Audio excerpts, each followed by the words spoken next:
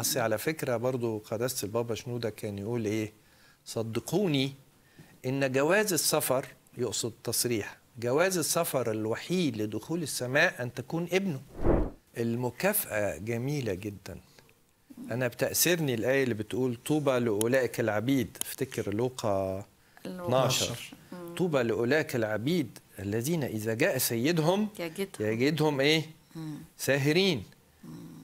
وبعدين الحق أقول لكم أنه يتمنطق ويخدم. ويتكئهم وي- ويتقدم ويخدمهم رب المجد الساهرين دول اللي مصحصحين اللي مركزين آه، اللي مش مستنيين يوم الرب كلص اللي مستنيين يوم الرب كلص دول اللي مش مستعدين. مش هيجي دريانين. على غفلة. لكن أبناء النور دول صحيين يعني إيه ال- إيه الجمال ده يا رب؟ مين أنا؟ مين أنا؟ يتقدم ويخدمهم. يتمنطق إيه ده؟ عشان إيه ده كله يا رب؟ أنتوا ولادي حبايبي أنتوا اللي كنتوا زاهرين ومنتظرين العريس.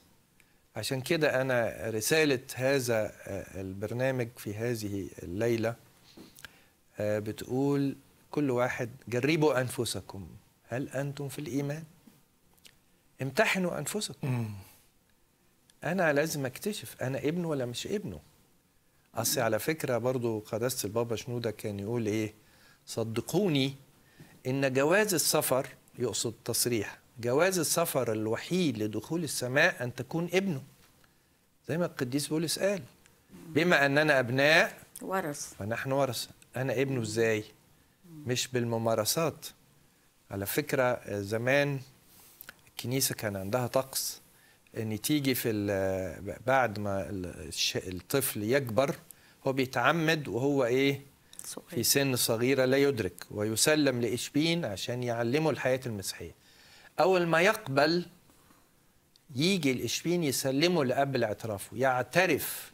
عشان كده في قديس اسمه تيودور. الغزاوي. من يقول ان ان إن في في وقت بعقل راشد لا. يجب أن أعترف أن أملك حياة المسيح لكل حياتي. مش أعتمد على الطقس.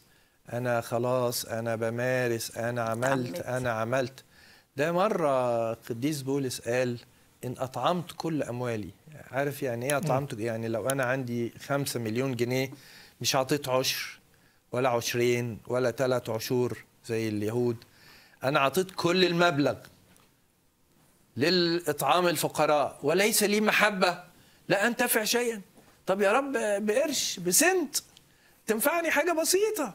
لا أنتفع شيئا. ليه؟ مفيش محبة.